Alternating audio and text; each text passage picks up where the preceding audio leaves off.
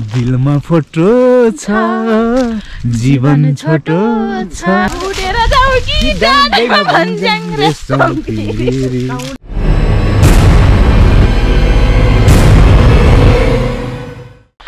Hello नमस्ते सबैजनालाई। आज हामी स्पेसल्ली सिस्नो भला गर्न गइरहेका छौँ। मतलब चाहिँ आजको शनिबार हामी सिस्नो टिप्ने प्रोग्राममा जुटेका छौँ। मसँग जनक केटो छ। अनि अगाडि मेरो बुढीहरू सिस्नो टिप्ने भनेर अगाडि चाहिँ गइराखेका छन्। र हामी एकछिनपछि त्यहाँ गएर सिस्नो कसरी टिपिन्छ र यसलाई चाहिँ नि यसका फाइदाहरू के के हुन् कसरी खाइन्छ कसरी पकाइन्छ भन्ने कुरा चाहिँ आजको भिडियोमा विशेष गरी हामी देखाउनेछौँ। यो भिडियो चाहिँ अन्तिमसम्म हेर्नु होला है त। के हुन्छ अगाडि? हेर्दै जाउँ। यहाँ चाहिँ सिस्नो टिप्ने काम भइराखेको छ। अब म तपाईँलाई नजिक गएर देखाउँदैछु। कसरी चाहिँ टिप्दो रहेछ सिस्नो? के छ बुढी? के हेरिरहेको छौ ए ए अनि यो त सिस्नो चिल्ने जाँदा त कसरी खाने हो त? ए ल ठिक छ। आजको शनिबार चाहिँ धेरै टाढा आएर हामी सिस्नो टिप्न लगाइरहेको छौँ। र साँझ सिस्नो र के खाने यसलाई? पकाएर सिस्नो र ढिँडो खाने चाहिँ प्रोग्राम छ। र सिस्नो पनि पाइँदैन यो ठाउँमा। अनि तिमीलाई थाहा छ सिस्नाका फाइदाहरू के के हुन्? अब के फाइदा भन्ने हो त? केही थाहै छैन। सिस्नो चाहिँ स्पेसल्ली हरियो। सागपात अन्तर्गत पर्ने भएको कारणले गर्दा भिटामिन ए त पाइन्छ नै। साथसाथै यो एकदमै सन्तुलित भोजनको साथसाथै यो एउटा औषधिको रूपमा पनि प्रयोग हुन्छ। यो जस्तो प्रेसर ब्लड प्रेसर हाई हुने मान्छे सा साथै ग्यास्ट्रिक ग्यास्ट्रिकको पनि यसको यसले चाहिँ सहयोग गर्छ राम्रो काम गर्छ भन्ने कुरा थाहा पाएको छु यता यता खिच्नु अनि यो अर्को कुरा चाहिँ यो टन्सिल घाँटीमा टन्सिल हुने मान्छेको समस्याको पनि यसले केही टन्सिलको पनि यसले औषधिको काम गर्छ भन्ने कुरा मैले जानकारी पाएको छु र यो हामीले चाहिँ नि पहिलेदेखि खाइराखेका छौँ यो सिस्नो। र कति टिप्यो अहिले धेरै? यति धेरै छ। अब यो भ- थैलोभरि भराइसकेपछि आज साँझ सबैजना बसेर सब सबै परिवार बसेर खानुपर्छ। र यो सिस्नो यस्तै यस्तै अर्ग्यानिक चिज खाने कारणले गर्दा होइन गाउँघरका मान्छेहरू चाहिँ धेरै वर्ष सय वर्षभन्दा पनि बढी बाँच्ने चाहिँ नि हामीले उदाहरणहरू चाहिँ देख्न सकिन्छ होइन। खाइकन मान्छे काला पनि हुन्छन्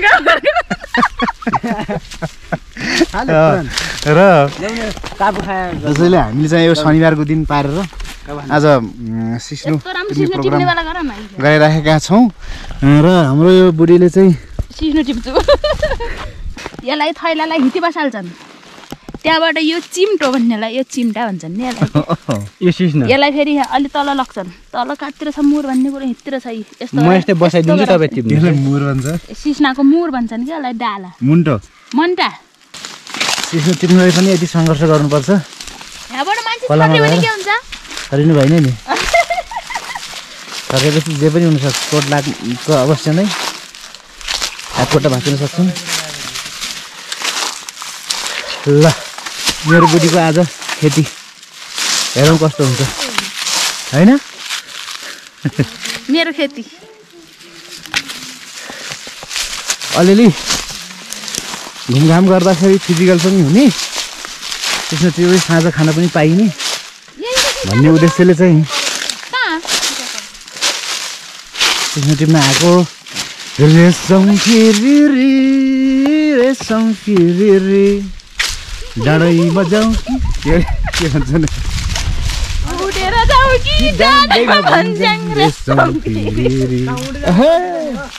कि जाउँ कि डाँडैमा ओहे बुढी नाच्दै एकपल्ट ल है रेसम फिरिरी गीत गाइदिन्छु कि डाँडैमा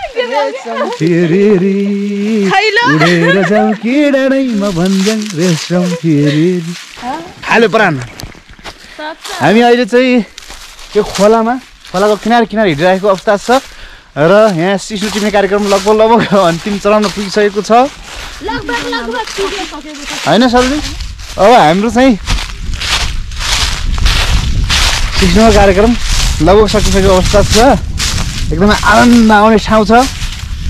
भनेर भन्न चाहन्छु होइन? के त त्यहाँदेखि तल भयो। अँ, के छ भने एकदमै चिसो चिसो हावा चलिरहेको छ। म यहाँबाट यस्तो जान्छु नि बड्डा त्यो खोलाको नजिक नजिक किनार किनारमा। ल लड्नु मात्रै नगर्नु अरू जे पनि गर। त्यहाँ चिस्नु छ र तल। कहाँ छ? सिस्नाको मुड भनेको यस्ता हुन्छन् अँ अँ। यी। कस्तो छ? ठिक छ ल। ए यो ठाउँमा। लिउरे साग। लिउरे साग पनि पानी पर्यो भने अब लिउरे साग पलाउने बेला भएको छ। लिउरो। पलाउँछ डौरे पछि वर्षामा डौरे पनि पलाउँछ। एकदमै राम्रो छ। अनि यसरी सङ्घर्ष गरेर टिप्नुपर्छ टिप्नु टिप्दाखेरि गाह्रो छ। अरे यार फिजिकल पनि हुन्छ साँझ खाना पनि पाइन्छ। धेरै राम्रो डबल हो। डबल फाइदा के?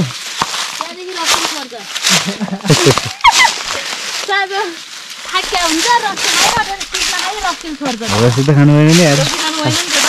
आज भन्दा होइन रसी आएर सिस्नु खाएको फाइदै छैन पोसिलोको लागि खाने हो जिउ लाग्ला भनेर खाने हो औषधिको लागि खाने हो सिस्नो भनेको सबै सबैलाई भाग्यमा कहाँ हुन्छ सिस्नो खाने सरोजी यो विशेष गरी सिस्नो हाम्रो गाउँमा के म गाउँमा छँदा यो विशेष गरी यो सिस्नो चाहिँ मगर जातिका मान्छेहरूले खान्छन् भनेर हामीले अलिकति उपल्लो जातिका मान्छेहरूले चाहिँ अलिकति हेप्ने जस्तो खालको मैले कता भेटाएको थिएँ।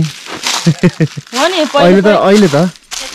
तपाईँ अब क्षेत्रीय जातको मान्छे होइन तर पनि सिस्नु टिपिराख्नु भएको छ। यसमा के भन्न चाहनुहुन्छ तपाईँ? यो खास मगर जातका मान्छेहरू मात्रै खाने जात हो कि? समय अनुसार पनि हुँदो रहेछ। पहिला पहिला अब कतैबाट हाम्रो नजिकैमा अब बाबै ढिँडो खान आइजाऊ भन्दाखेरि हामी एकदमै लाज हुन्थ्यो कि? कहाँ ढिँडो खान्छ भन्छ यसले कमसेकम खा भने ढिँडो पारे पनि भित्र चाहिँ भात पकाउनु भात खान आऊ बाहिर चाहिँ भात खान आऊ भन्ने पनि हुन्थ्यो। भन्नेसम्म भन्थे। इज्जत जान्छ इज्जत जान्छ भन्थे कि? ढिँडो हुनेपछि इज्जत जान्छ भन्थे। अहिले चाहिँ समयअनुसार पनि होला। सायद त्यही कारणले गर्दा पनि अहिले त सिस्नो सिस्नो र ढिँडो भनेपछि एकदमै अर्ग्यानिक रूपमा नै गनिन्छ। तर होटलहरूमा पनि ढिँडो खान गयो भने हजार रुपियाँ खाली। बढी तिर्नुपर्छ? भातको त हामीले सय दुई सय त तिर्ने हो नि। यो बल्ल चाहिँ अब अर्ग्यानिक चिजको चाहिँ महत्त्व बढिरहेको छ होइन? हजुर हजुर। भन्ने कुरा पनि बुझिन्छ र अर्को कुरा तपाईँ अनुसार मान्छेले ऊ पनि ड्राई फ्रुटहरू खान लाए। अनि त्यसपछि अर्को कुरा चाहिँ म तपाईँले सोधेँ स्पेसल्ली अब तपाईँको परिवारले। हजुर। पहिलेदेखि खाइरहेको अवस्था हो कि? सिस्नो अहिले अहिले आएर चाहिँ यो खान ला हो। होइन हामी त पहिल्यैदेखि खान्थ्यौँ। ए हो त्यसो पहिल्यैदेखि नै खान्थ्यौँ। मलाई त म सबैभन्दा मनपर्ने मासु भन्दा पनि मनपर्ने सिस्नो नै हो। हजुर। त्यही भएर म बढी सिस्नो नै खान्छु। सिस्नो मकैको रोटी ढिँडो। हो। ल ल थ्याङ्क यू सो मच तपाईँलाई। धन्यवाद। ल। अनि बुढी? म त हाँसो लाग्छ म भने चाहिँ पहिले अनि बुढी? तिमीले चाहिँ पहिलेदेखि खान्थ्यौ अहिले यो मगरसँग बिहा गरेदेखि खान लाग्यो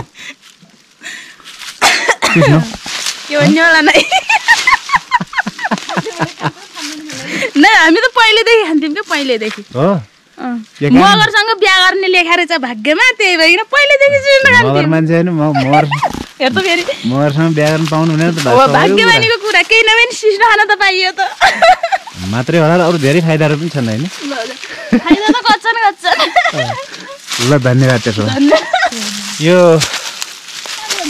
चिसो चिन्ने टोली हो विशेष गरी होइन हजुर टिप्ने टोली हो यो भन्नुपर्दा अनि सिस्नो कति भयो त सिस्नो यति यति हो खाले आधा गट्ठा खाले परान खान्न परान साँझो सिस्नो खान्छ बरु यो परान